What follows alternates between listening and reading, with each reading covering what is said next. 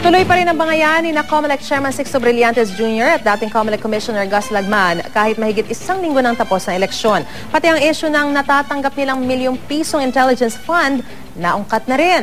Narito ang report ni Tina Panganiban Perez.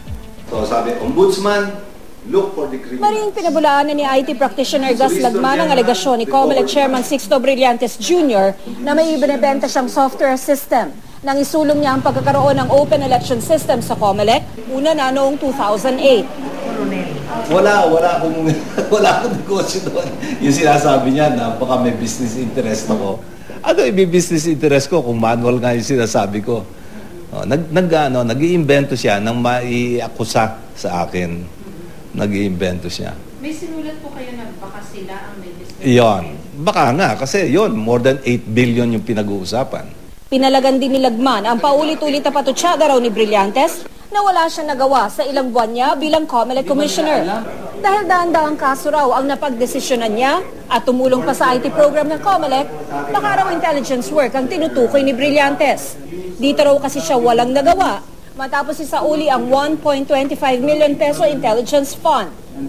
Ako din, hindi ko rin alam yun eh.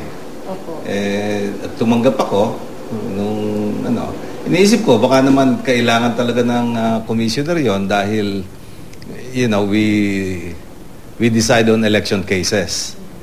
And uh, there had been na- ano, may mga okasyon na parang sana ma-check natin ito, ganun ganon ano. Kung tama ito, kung totoo, ganon. Yung mga ebidensya. Nakalimutan na nga raw niya ang tungkol sa pondo na idineposito sa isang account at naalala na lang niya nang may pinapirmahan sa kanya. Pinapaliquidate sa akin. Hindi ko hindi ko lang maalaala kung ano yung mga nakalista, no? Basta ang tatandaan ko lang eh hindi ko ginastos yung mga 'yon. Paglilinaw naman ni Brillantes, Ang sabi ko, wala naman siyang ginawang tama rito. Hindi ko naman sinasabing wala siyang accomplishment.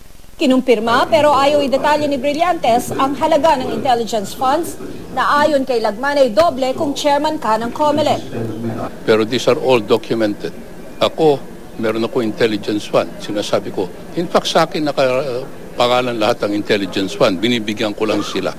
Ipinaliwanag din ni Brillantes kung bakit niya nasabing may sabwatan ng ilang grupo kasama si Lagman para sirain ang eleksyon. Hindi ah. Pare-pareho. Napansin nila may mali. Three years na nilang sinasabi, pare-pareho.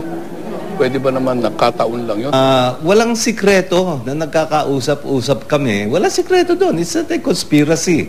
Ah, kaya lang, lahat kami nakakapansin na mali yung ginagawa ng COMELEC. Paulit-ulit ang panawagan ni Brillantes noon kay Lagman na tumulong na lang sa COMELEC. Magkaayos pa kaya sila? Alam niya naman ang aking text, ang aking cellphone number. I-text lang niya ako, pupunta ako. Pero tingin ko, yung mga sinasabi niya sa media, pabalat bunga lang yon. Sabihin mo kay Gas, okay lang ako. Gusto niya palakihin to, okay din ako. Kasi ako, wala rin ako tinatago. So, hindi ako natatakot. Tina Panganiban Perez, GMA News.